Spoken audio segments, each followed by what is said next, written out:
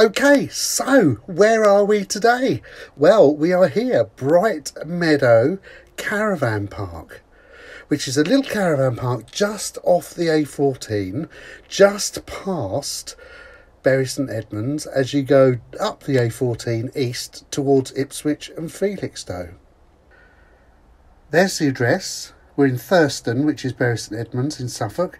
The actual website is Bright Meadow Caravan Park um, .co.uk. Easy website. Check it out. See if they've got any availability and get it booked if this is the type of site for you. We're going to do a quick wander round, see what the site is like, and then, well, you make up your own mind. Let's go and have a look. So here we are at the entrance of Bright Meadow Caravan Park. It's a good entrance, a good wide entrance, gives you plenty of room to get in and out. Lots of turning space when you're coming off the road.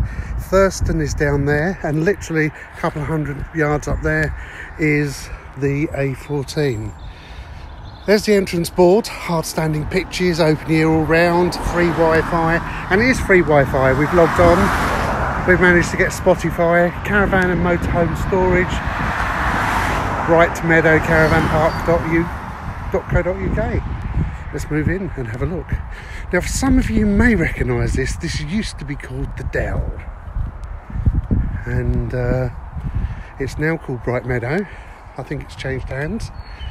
You can hear the birds singing. How lovely is that? Lots of trees, so I should imagine in the summer it's going to look very, very sort of lush. We're here in January, so it won't be quite the same feel. You've got lots of fields around you. Um, we were looking at the uh, the hares on the top of that field earlier. When I say hares, I'm talking about March hares. They were literally at the top. I don't know whether we'll see any more. Um, oh yeah, we can see a couple up there still now. Let's wander over and have a look. Um, about 50 pitches on this site, so it's quite a large site, a large independent site. Um, yes, sorry about that wind. Let's see, I don't know if we can see.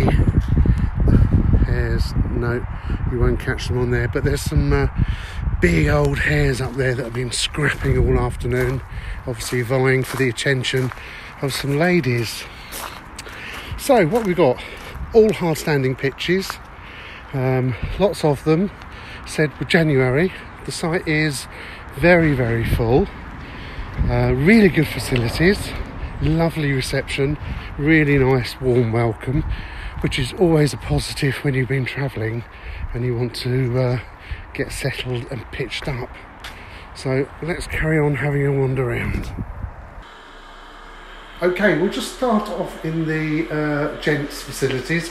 Immaculate. You can't say any more, really. Everything is clean, spotless, well looked after. You know, 10 out of 10 guys.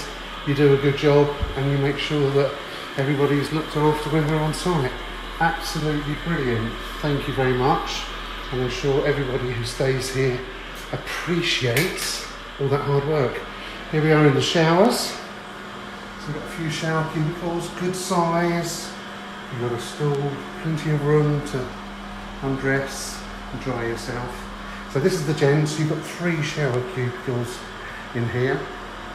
All looking again pristine and really, really pucker. I think is the word. So well done. 10 out of 10 for that. Um, yeah, I'm impressed just want to show you this. We've got some good disabled facilities here. So a really good shower space. There we go. Good size area, lots of turning space. So if you are in a wheelchair, this really is going to be quite helpful for you guys. Low level sink there. Again, spotless, very, very clean. And you've got a little hairdryer there that you can use as well. So really good excellent, first class, big tick for disabled facilities.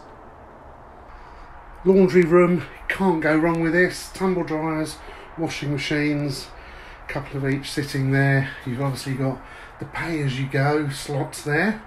Um, and it looks have some loads take longer than two pounds so be careful um, could be two or three pounds for a load of washing so washing machines there and a sink there if you want to do any hand washing so again a big tick for the laundry facilities well done here's your washroom so as you would expect you've got a little bit of side working area there you've got sinks you've got one either side plenty of room to do your washing up of your pots and pans. Because of COVID, they're asking only one person at a time.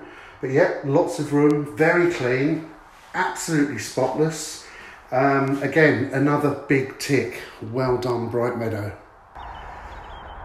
So, walking through the site, you've got some pretty big pitches. So, they're pretty good, good size, lots of them. Um, and they're scattered around the site.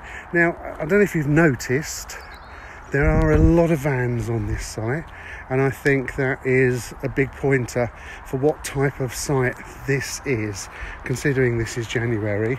They class themselves as a touring site, but we've only seen four or five touring pitches out of the 50 that they say they have.